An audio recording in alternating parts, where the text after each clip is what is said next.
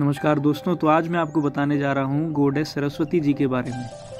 जो गोडेस सरस्वती जी हैं, इनका नाम का जो मीनिंग है सरस्वती, यानी सरस जो है फ्लो, और वती मीन्स जिसमें वो है, यानी she who has the flow और बात की जाए, इसका एक और मीनिंग हो सकता है सार स्व, यानी सार जिसमें जो एसेंस है, और स्व मीन्स जिसमें सेल्फ यानी सेल्फ जिसमें जो एसेंस है।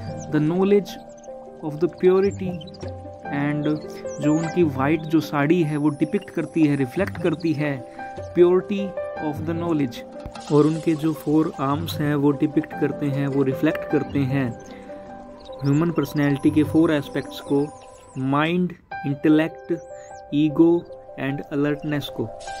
अल्टरनेटिवली जो चार हमारे वेदाज हैं, यजुर्वेद, सामवेद, अथर्ववेद और ऋग्वेद इन सभी को डिपिक्ट करते हैं इनके फोर आर्म्स और बात की जाए, ये एक श्वेत कमल के ऊपर जो है इनका निवास स्थान है। और ये त्रिदेवों की त्रिदेवियों में से एक है।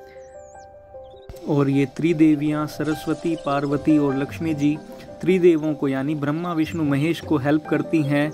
इस ब्रह्मांड में उत्पत्ति और विनाश का जो भी चक्र है, उसमें, उसको मेंटेन रखने में इन त्रिदेवों की मदद करती हैं हेल्प करती हैं ये त्रिदेवियाँ।